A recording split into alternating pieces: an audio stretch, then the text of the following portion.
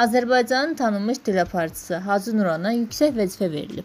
Teleparçı Xarı Bülbül Şuşa voleybol klubunun prezidenti seçilib. Sferas xəbər verir ki, bu barədə o özünün sosial media hesabında məlumat verib. Bu gün ali missiya mənə həvalə olundu. Olduqca gözlənilməz qərar idi. Qürurluyam və sevincliyəm. Etimadı doğrultmaq üçün əlimdən gələni etməyə çalışacağam. Əminəm ki, bundan sonra Xarı Bülbül adına olan voleybol klubunun sorağı bütün dünyanın arenalarından gələcək. Etimad və güvən hər bir insan üçün vacibdir. Demək ki, gördüyün işlər, çəkdiyin zəhmət əbəs deyilmiş. Bu dəqiqələrdə həyatımın ən böyük etimadlarından biri ilə qarşılaşdım. Xarı Bülbül Şuşa voleybol klubunun prezidenti seçildim. Olduqca gözlənilməz, amma xoş bir təklif oldu. Qəbul etdim.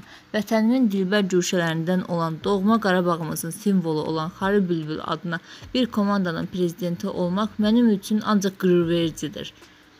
Hacı Nuran paylaşımında onu da əlavə edib ki, peşəkar voleybolçulardan ibarət klubun yaradılmasında əsas məqsəd Şuşanın əzəli Azərbaycan torpağı olduğunu bir daha dünyaya nümayiş etdirməkdir. Komandanın hədəfi Vətən müharibəsinin simvoluna çevrilmiş Xarı bülbülü beynəlxalq arenada tanıtmaq, daşıdığı formanı layiqincə təmsil etmək, bu adın dünya idmanında geniş yayılmasına töhfə verməkdir.